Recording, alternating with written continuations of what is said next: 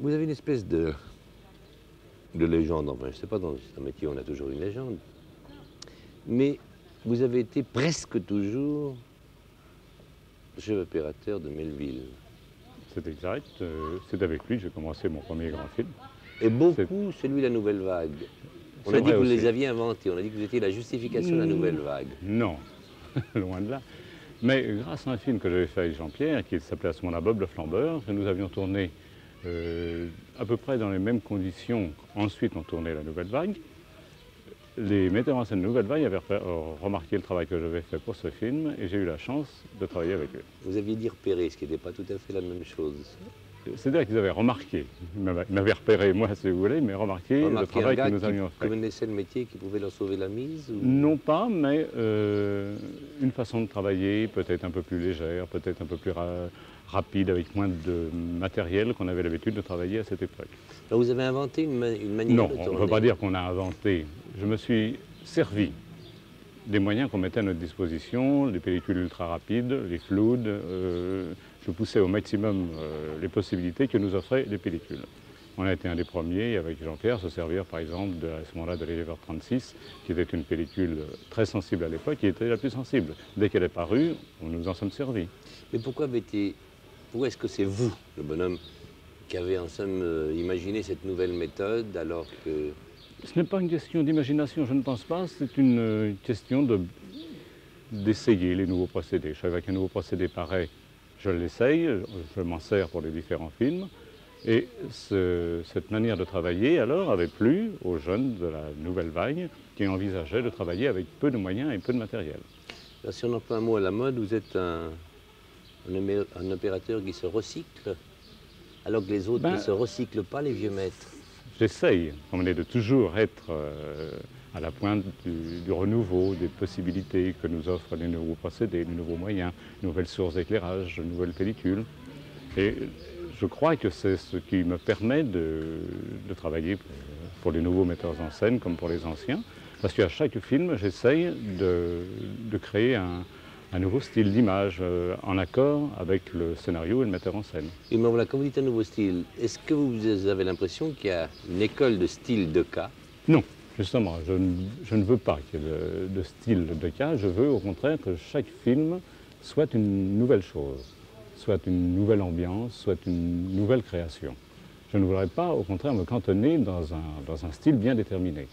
Ça, j'essaye pour chaque film, au contraire, de recréer un climat, une atmosphère nouvelle. Évidemment, euh, je pense que malgré soi, on, fait, on a toujours quelque chose qui vous est propre. Une façon d'être. pas des manies, mais une façon d'être, euh, le coup de patte qu'on pourrait dire, qu'on pourrait donner chez un peintre. On, on- on reconnaît sa façon de faire, bien que j'essaye au contraire de, De gommer de gommer, de que je ne sois pas moi, mais que ce soit le film. Mais Quand vous travaillez avec Melville, beaucoup, vous avez fait, je sais pas, fait six films. six Jean-Pierre, films sur dix qu'il a fait, c'est-à-dire que c'est juste des petits, il vous a fait que de temps en temps, euh, mais en passant. Vous, êtes, vous formez un ménage tous les deux, Ah bah oui, nous sommes euh, professionnel. bien sûr. ça. Euh, vous ne risquez pas peut, d'avoir des habitudes communes Non, au contraire, on essaye de ne pas en garder. Vous voyez, pour ce film, par exemple, euh, Jean-Pierre m'a demandé de- d'avoir un style d'image tout à fait dépouillé, tout à fait euh, pas classique, au contraire, plutôt style reportage, style euh, improvisation, style euh, néo-réalisme presque, comprenez, que ce soit presque des images d'actualité, prises sur le vif, que ce ne soit pas des images d'actualité, mais qu'on ait l'impression que c'est la vie, que c'est pris sur le vif, que les scènes ne sont pas préparées, que les éclairages ne sont pas préparés, que ce soit des choses vraies. Mais quand on vous voit travailler, on a au contraire l'impression que c'est rapide, mais pas léché, mais très fouillé quand même. Il faut, malgré tout, tout en regardant ce, style d'image euh, qui semble vrai à l'écran, la préparer. Rien ne peut être. euh, pour moi, je ne conçois pas de tourner sans, avoir préparé mes scènes, sans avoir préparé les éclairages. Même si on profite des éclairages de rue, il faut tout de même les perfectionner. Il n'y a rien qui ne me fasse plus, on dirait, qui me mette plus en rogne lorsque je vois des articles dans les journaux où l'on dit, avec les nouvelles pellicules ultra rapides, bientôt on, pourra- on pourra se. C'est idiot. C'est pas parce que la pellicule sera plus rapide qu'on se passera le projecteur. Les projecteurs seront peut-être plus faibles. On aura Oui, besoin de moins de sources de lumière, euh, moins fortes, mais toujours de sources de lumière pour équilibrer et, façonner les, les visages ou les décors. Et vous avez une responsabilité grande dans le goût du spectateur à votre Ben, je pense que le spectateur voit ce qu'a voulu le metteur en scène par l'intermédiaire de notre travail.